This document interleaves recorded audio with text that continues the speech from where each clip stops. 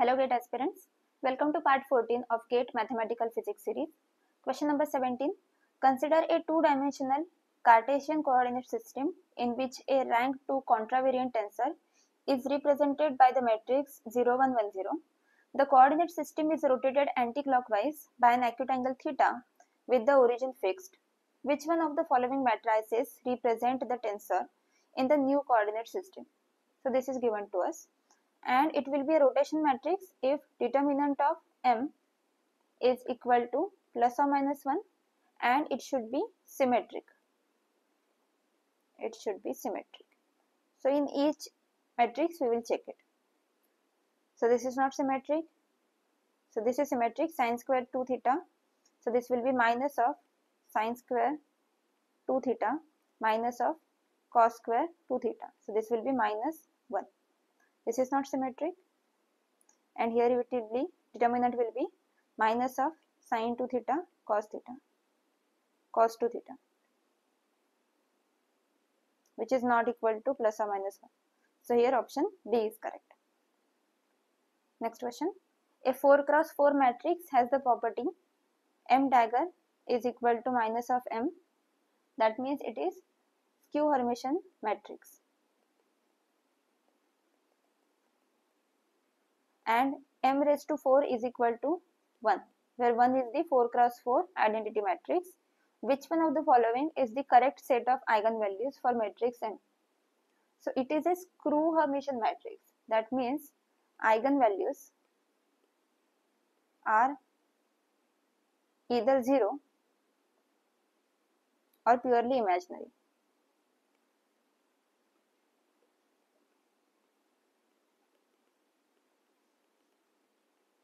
so let us check these are real. These are real. So in in b and c we have to consider. Also trace of this matrix m will be equal to summation of lambda i. So either 0 that means their addition is has to be equal to 0 so here addition will be 0 so option b is correct. Next question. Which one of the following options represent linearly independent pairs of functions of real variable. So for that we will calculate Wronskian that is y1, y2, y1 dash, y2 dash. And this should not be equal to 0 then those are linearly independent functions. So let us check. For first one we have e raised to ix, e raised to minus ix then its derivative will be i into e raised to ix minus i e raised to minus ix so this will be this will be minus i minus i that is minus of 2i which is not equal to 0. So that means they are linearly independent. Next second one we have x and e raised to x. So derivative of x is 1 e raised to x is e raised to x. So this is x into e raised to x minus e raised to x that is x minus 1 into e raised to x exponential function is non-zero. So in general this will not be equal to 0. So linearly independent. So option B is also there. Then for third one we have 2 raised to x and its derivative is 2 raised to x log of 2 or ln of 2. Then we have 2 raised to x minus 3 then 2 raised to x minus 3 into log of 2. This is 2 raised to x into 2 raised to x minus 3. So this will be 2 raised to 2x minus 3 into log of 2 minus this will be 2 raised to 2x minus 3 into log of 2 which is equal to 0. So this is linearly dependent. Then option 4 this will be e raised to ix into sine of x. So i into e raised to ix and cos of x.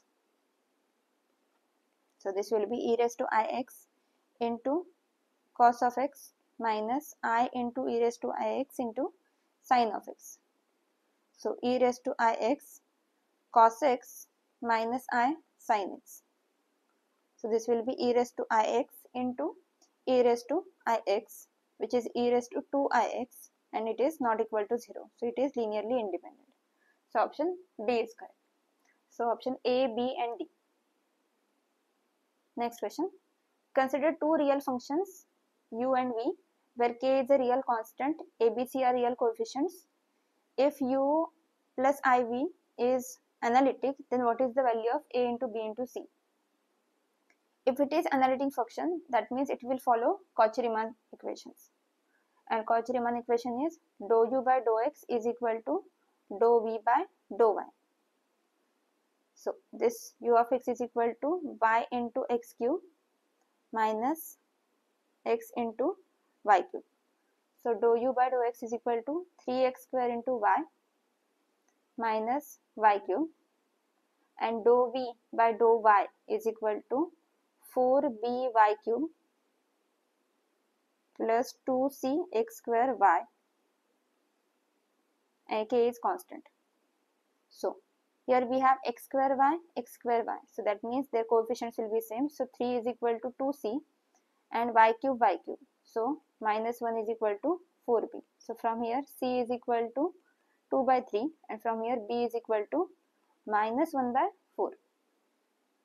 Also we have dou u by dou y is equal to minus of dou v by dou x. So dou u by dou y is equal to x cube minus 3x y square then minus of dou v by dou x. So here we have x and x. This will be 4a x cube minus sign c. So 2, 2 will be there. So 2 c x into y square. So we have xy square, xy square here. So minus 3 is equal to minus 2c. So c is equal to 2 by 3 and 1 is equal to minus of 4a. So that means a is equal to minus 1 by 4. So a, b, c is minus 1 by 4 into minus 1 by 4 into 2 by 3. So this will be 2 and 2 will cancel out. 3 to the 6 into 4. okay sorry this this is 3 by 2 here this c is 3 by 2 and here also it is 3 by 2 so 1 by 4 into 3 by 2 so this will be 3 upon 16 to the 32 so here option d is correct. Next question. F of z is equal to z square sine z upon z minus pi raised to 4 at z is equal to pi which one of the following is correct? So this is function. And we can find out singular values. So z minus pi raised to 4 is equal to 0. That means z is equal to pi is the singular point. Now let us find out limit z tending to pi. z square sine z upon z minus pi raised to 4. That is limit of z tending to pi.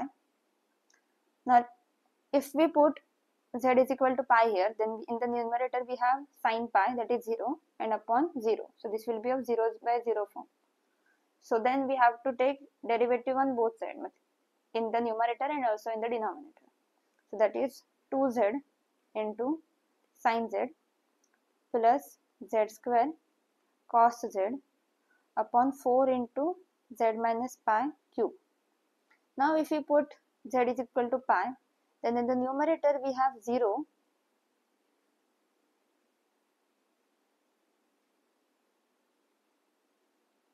So if we put z is equal to pi here, then this first term will be 0 and second term will be pi square into cos pi that is minus 1. So minus pi square upon denominator will be 0. So this is of form finite value upon 0 form. So that means z is equal to pi is pole and order is 3. So pole of order 3.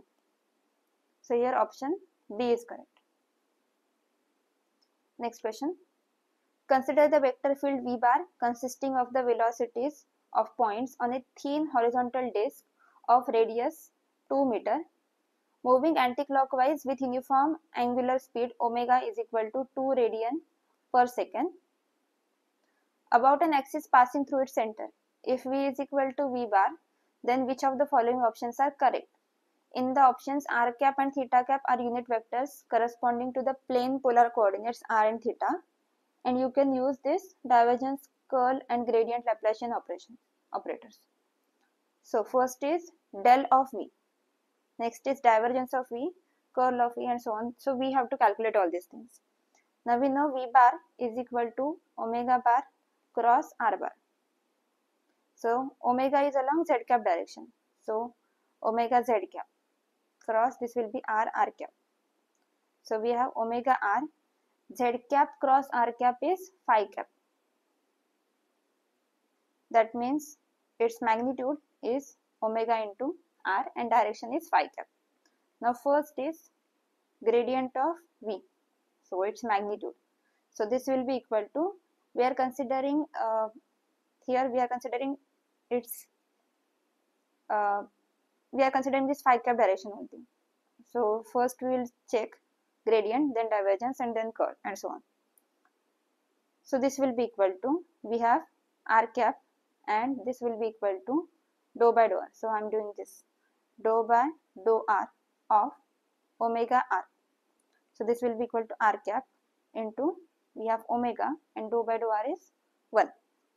So this will be omega r cap but omega is 2 so this will be 2 r cap. So option A is correct. Now second we have divergence of V. So we have divergence of V and this is A phi, phi cap. So we have to consider second one. So that is this one. So this will be 1 upon R. Then we have dou by dou phi of omega R. But there is no phi term. So this will be equal to 0. So second option is wrong. Next option C. We have to check uh, its curl as well. So for C part, we have V bar is equal to omega r phi cap. So this is A phi, phi cap. So only A phi terms we will take. So this is equal to curl of V is equal to. So here it is AZ. So here we have A phi. Then this term will not be there and this term. So only those terms we will consider. So first is minus of dou a phi by dou z into s cap and plus second term is here uh, we have used r. So let us use r. Upon 1 by r dou by dou r of r into a phi. So this we will calculate now. Now minus of dou by dou z of omega into r r cap so this will be 0 and second is 1 by r dou by dou r r into omega r and into we have z cap here. So this will be 0 because there is no z term. This will be 1 by r dou by dou r of omega r square. So omega into 2r into z cap. So this r and r will cancel out. So this is 2 omega z cap. But omega is 2 so this will be 4 z cap. So option C is correct. Where z cap is the unit vector perpendicular to r theta plane. Now fourth one. Fourth one is Laplacian of V. So here also consider a phi term. That is first term we will consider only. So we have del square of V is equal to 1 by R. Then we have dou by dou R of R and dou f by dou s which we have already calculated right dou f by dou s so dou by dou r let us do it again anyway. So this will be r into omega. So this will be equal to 1 by r dou by dou r of r and dou r by dou r is omega r. So this is omega r again. So this will be omega by r and omega is 2 and r is 1.5 so that is 3 by 2 so this is 4 by 3 so option D is correct. So here option A, C and D are correct. So these were all the questions from GATE 2023 paper. If you like this video, please give it a thumbs up and subscribe to my channel for more videos. Keep learning.